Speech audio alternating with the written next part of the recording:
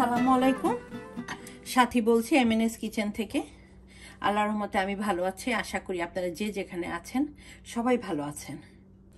খুব নিকটে চলে আসতেছে আমাদের রামাদান। রামাদান উপলক্ষে আমি আজকে আপনাদের জন্য দুইটা রেসিপি নিয়ে হাজির হলাম।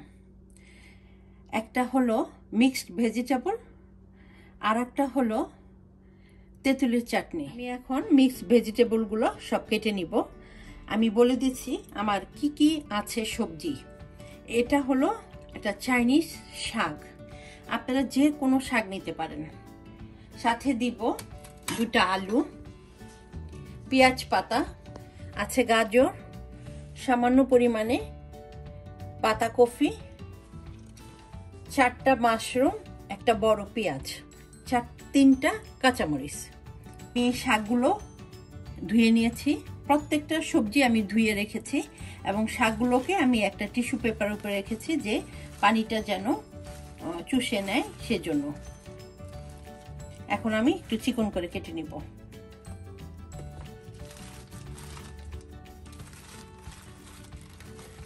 খুব একটা চিকন করব না, আবার খুব একটা মোটা করে কাটবো না।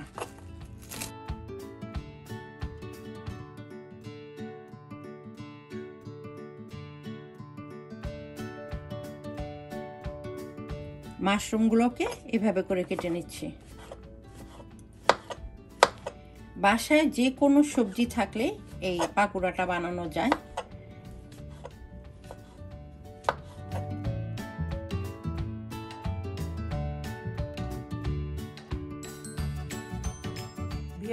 সমস্ত ভেজিটেবলগুলো আমি কেটে নিয়েছি এখানে। একটা বড় একটা বাটিতে নিয়েছি। এখন আমি এটাকে মিক্স করব বেসন দিয়ে। সাথে দিব একটা ডিম।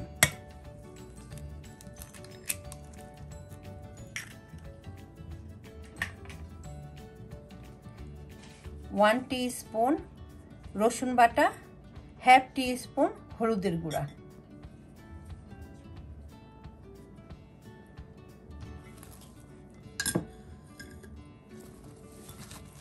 এবং স্বাদ অনুযায়ী লবণ দিয়ে দিচ্ছি।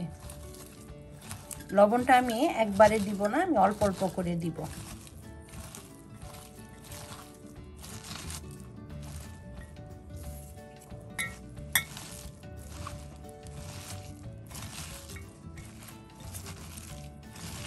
লবণ দিয়ে মাখানোর পরে এই সবজি থেকে একটা পানি বের হয়। সেজন্য আমি পানির পরিমাণটা খুব আস্তে আস্তে, প্রয়োজন হলে দিব, না হলে দিব না।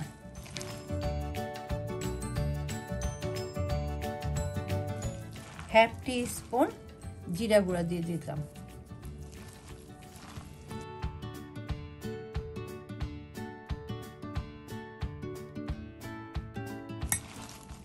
ভিওর্স এই শাকটা সরিষার শাক।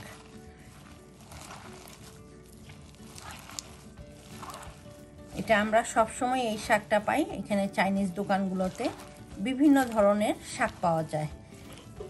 আমি বিভিন্ন রকমেরই শাক দিয়ে এই পাকোড়াটা বানাই। আমি এই মাখানো সবজিগুলো আমি দশ মিনিটের জন্য ঢেকে রাখব। দশ মিনিটের জন্য এটা আমি ঢেকে রেখেছি। এখন আমি এখানে হ্যাফ টি স্পুন গোলমরিচ ফাঁকি আমি দিয়ে দিব। আর এখন আমি আস্তে আস্তে দিব বেসন। প্রচুর পরিমাণেই পানি উঠেছে। একদম ভিজা ভিজা ভিতরে। সেজন্য আমি এখনও পানি ব্যবহার করব না। যদি প্রয়োজন হয় আমি পানি দিব। এখন আমি আস্তে আস্তে করে বেসনটা দিব। এখানে আমি এক কাপ পরিমাণে বেসন নিয়েছি।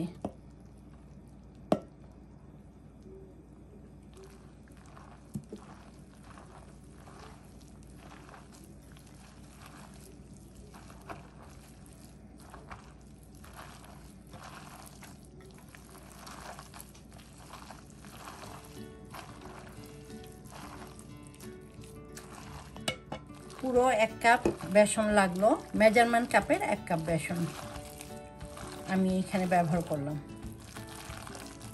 এখন আমি গরম তেলে এটা ভাজবো। আমি তেলটাও গরম করে নিয়েছি।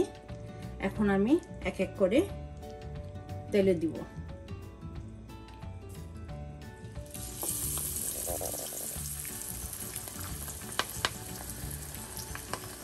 যখন তেলে দিব, তখন একটু চেপে চেপে দিব।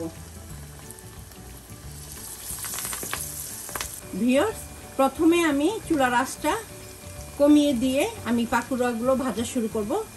পরবর্তীতে আমি চুলা রাসটা বাড়িয়ে দিব। এভাবে করে আমি সব ভেজে ভেজে ভেজে নিব।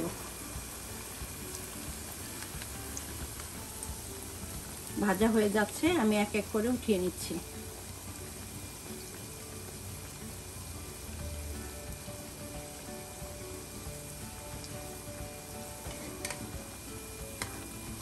আমি একটু বড় সাইজের করে ভাজলাম। আপনারা চাইলে ছোট ছোট করেও দিতে পারেন।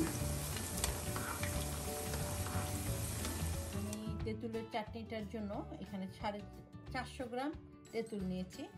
আমি তেঁতুলটা এক ঘণ্টার জন্য এভাবে নর্মাল ঠান্ডা পানি দিয়ে আমি ভিজিয়ে রাখলাম। ঠিক এভাবে করে ভিজানো থাকবে। এক ঘণ্টার জন্য। এক ঘণ্টা হয়ে গেছে। আমি খুব ভালোভাবে পানি দিয়েছি, পানি দিয়ে হাত দিয়ে ভালো করে চটকিয়ে নিচ্ছি। এভাবে করে বেশ কিছুক্ষণ হাত দিয়ে চটকাবো।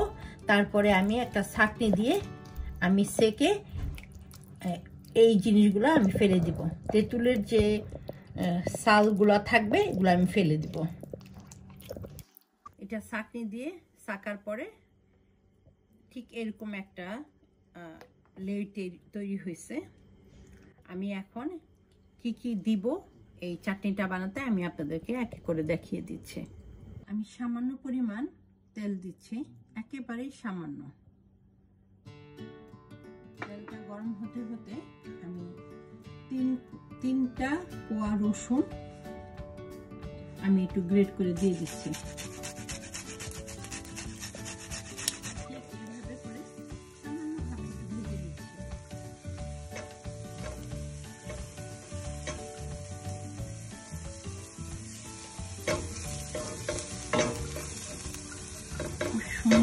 কালার আসলেই আমি তেঁতুলগুলো ঢেলে দিব। অসাধারণ একটা রসুনের গন্ধ বের হয়েছে।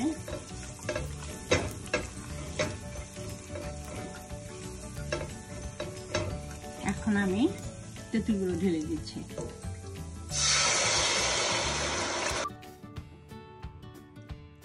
এভাবে করে একটু মিক্স করতেছে। দুই এক মিনিট এভাবে আমি একটু নেড়ে চেড়ে নিব। এখন পরিমাণ মতন পানি দিয়ে দিব।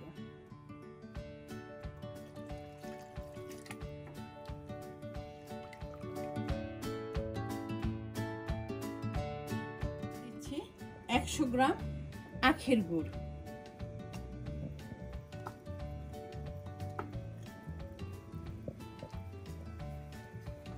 এই গুড়টা মেল্ট হওয়া পর্যন্ত অপেক্ষা করতেছি। তেঁতুলের সসটা আমি একটু চেখে দেখেছি। আর একটু মিষ্টি লাগবে। যেহেতু এটা টক ঝাল মিষ্টি থাকবে, তাই আরও পঞ্চাশ গ্রাম আমি গুড় দিয়ে দিচ্ছি। আমি হাফ কাপ ভিনেগার দিয়ে দিচ্ছি। এই ভিনেগারটা দেওয়ার কারণ হলো, যেহেতু আমি এটা অনেক দিন রেখে খাব, নষ্ট হবে না। সেজন্য আমি ভিনেগারটা ব্যবহার করলাম।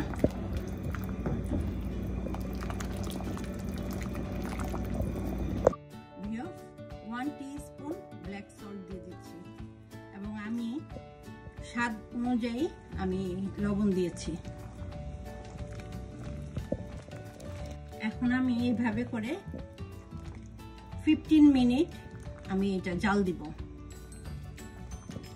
পনেরো মিনিট হয়ে গেল। এখন আমি হাফ টি স্পুন গোলমরিচের ফাঁকি দিয়ে দিচ্ছি।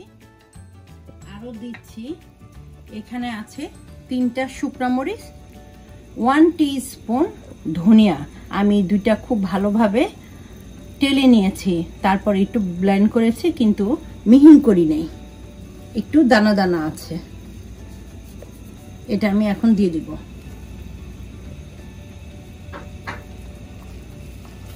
দিয়ে আমি নেড়ে চেড়ে নামিয়ে ফেলব। তৈরি করে ফেললাম খুব ঝটপট করে সবজির পাকোড়া, মিক্সড সবজির পাকোড়া। এবং সাথে আছে তেঁতুলের সস। আশা করি আপনারা সবাই আমার এই রমাদান স্পেশাল রেসিপিটা সবাই এনজয় করেছেন। যদি ভালো লেগে থাকে, অবশ্যই আমাকে লাইক ও শেয়ার করবেন এবং আমার চ্যানেলটিকে বেশি বেশি করে সাবস্ক্রাইব করবেন। আমার সাথে থাকার জন্য সবাইকে অসংখ্য ধন্যবাদ। দেখা হবে আবারও কোনো রান্না নিয়ে। আল্লাহ হাফেজ। হ্যাঁ।